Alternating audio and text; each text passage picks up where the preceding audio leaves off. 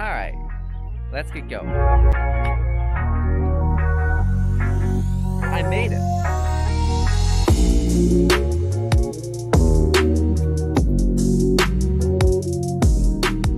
Okay, so you're probably wondering where exactly I am. And basically, I'm at Susquehannock State Park. So I figured I'd go a little bit further out this time. Last time went to Gettysburg. You know, that was um, a decent drive, but it wasn't like too far for me.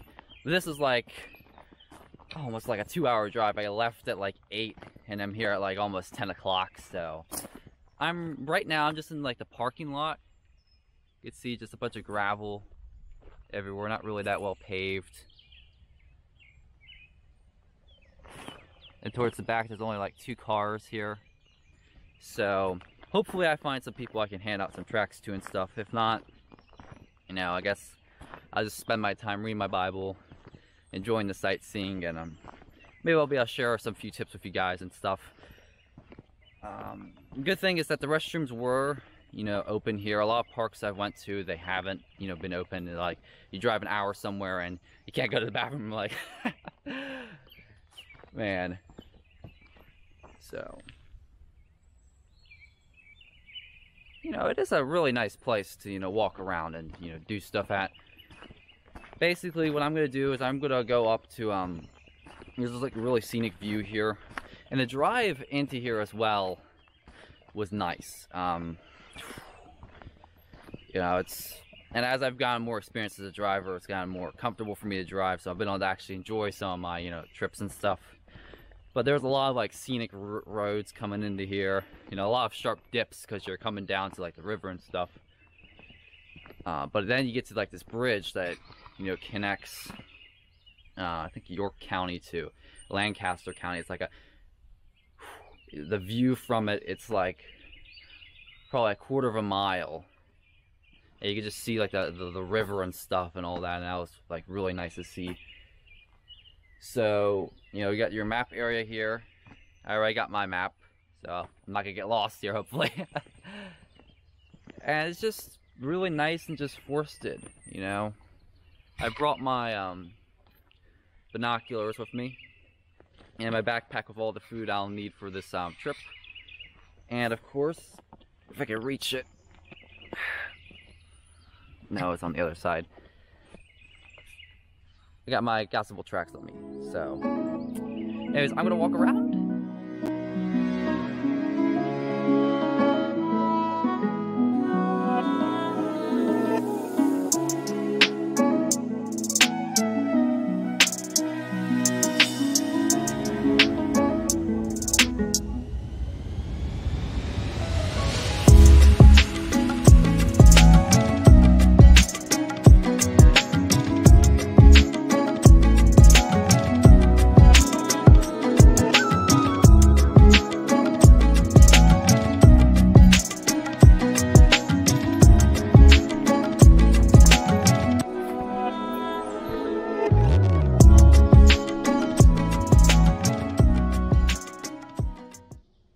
I made it to um, a very nice overlook here. Right now I'm on the, uh, I forgot the name of it. I think it's like the, um, the scenic route or something. Anyways, you can see, look at all that. You can see this the river from over here. It's very nestled and secluded through here. So it's a nice view. And you know, it's a nice place to just sit down, relax, have a good time, and enjoy the view.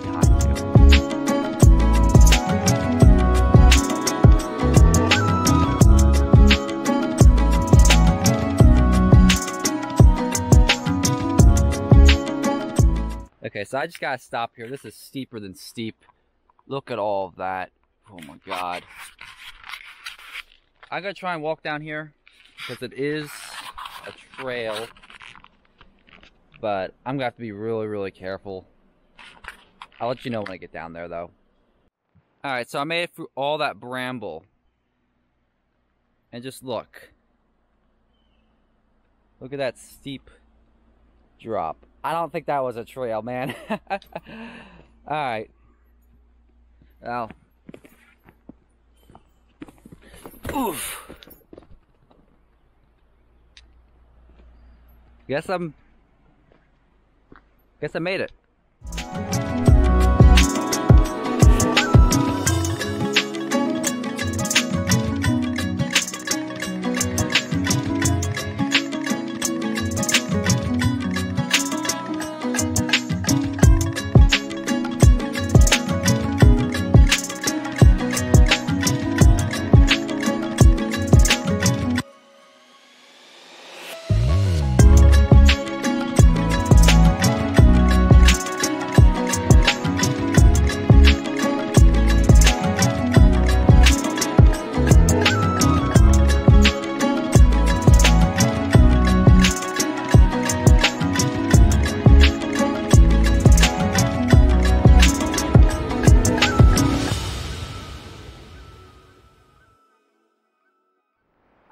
So right now I'm by this nice waterfall.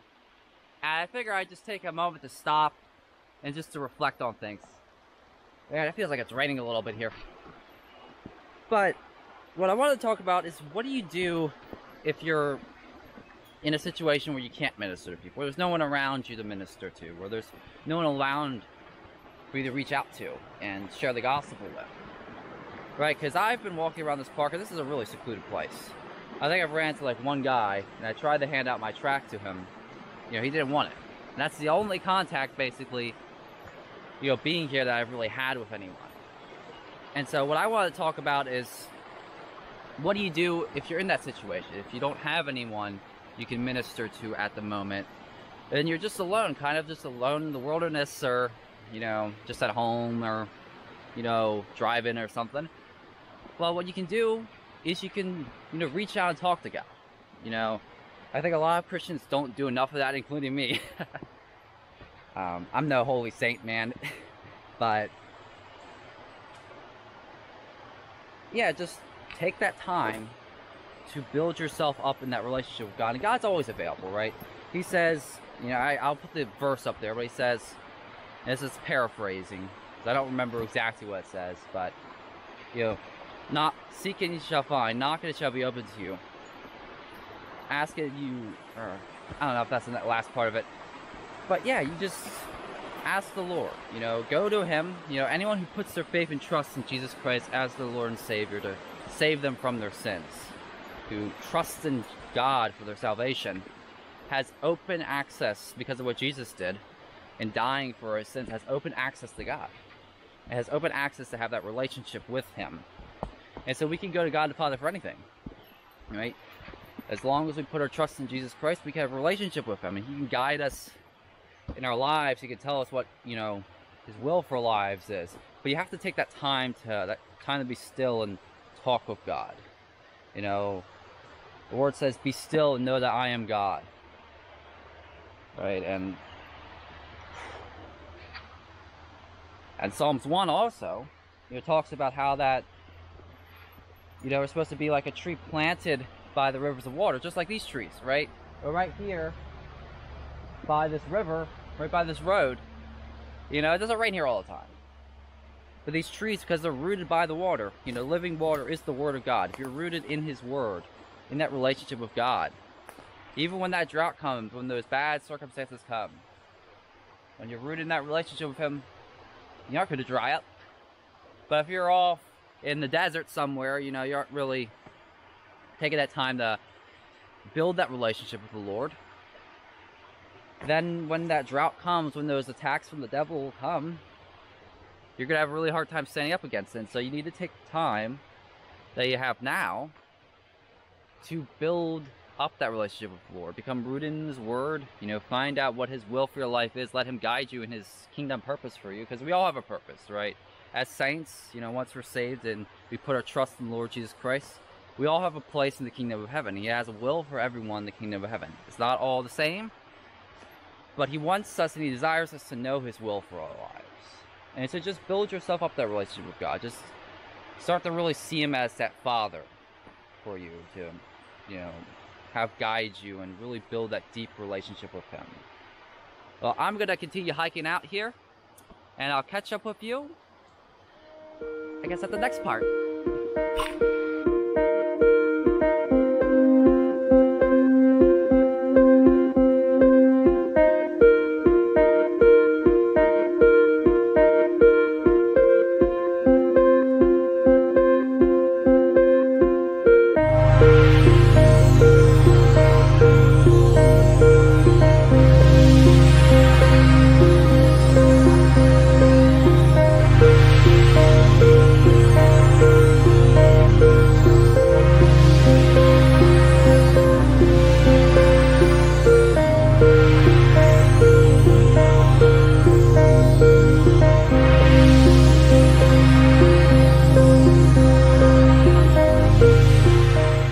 Okay, so I just stopped for another water break.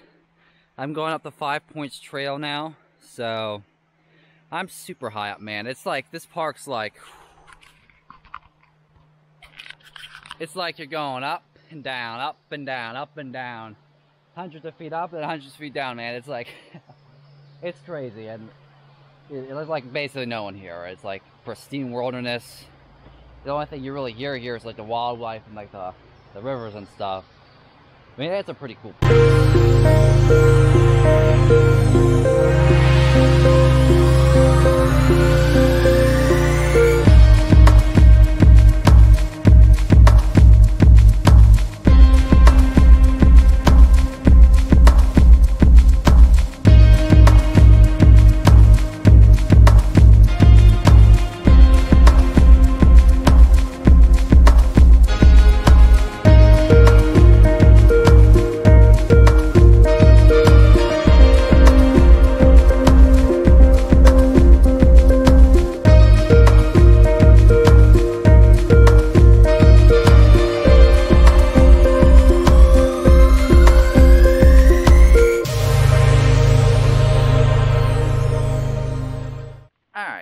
I made it to the overlook, guys. Um, see from over here.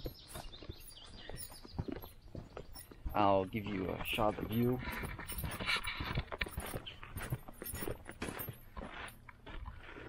Look at that. Look how nice that is. Man, whew. This is like the last, you know, part I wanted to hit up here um, before I headed out figure this was just you know you don't want to go here first because you know this is the best view. You want to save the best for last right? You don't eat your dessert before you eat your um before you eat your broccoli or something. No your Brussels sprouts. So yeah I mean it was like a successful time so far you know. I got to um, really enjoy myself got to minister at least a little bit um, I tried to hand out some tracts. There just wasn't that many people here, to be honest with you. I mean, it is a Sunday too, and it's only like maybe 12:30 ish. So I saw a bunch of people come in. Maybe I'll be able to hand out some tracts to them before I leave. But yeah, I mean, I'm just gonna head out here. I might get some ice cream uh, before I have to drive all the way home. That's not gonna be a, a short drive at all. So I have to make sure I use the restroom and all that stuff before I head out but yeah, just you know, this is a really nice place to you know go and visit if you're ever in this area. This part of Lancaster, Pennsylvania. You know, Susquehannock Park really is one of the nicest parks I've been to, in my opinion. But I'll see you on the other side, man. Alright, so I am back. So I had a um, decent day. You know, I was able to hand out a few tracts. Um, some people said they didn't want, some most said that, but you know, a few people did want a message of hope. You know, that's what what I'm doing is about. You're bringing hope into the world. You know, we're going out ministering the gospel to people, help bring people to Jesus. You know, and um, hopefully some of those seeds that I sowed and that maybe you even will sow will bring forth some fruit in people's lives. And that's really what the most important thing is, is to, you know, have the gospel bring forth fruit. You know, even if it's not a lot of seeds, having at least one or two of those seeds do something, you know, it makes all the difference, you know. So if you like this type of content, you can subscribe. If not, that's completely okay. Um, and until next time, see you around.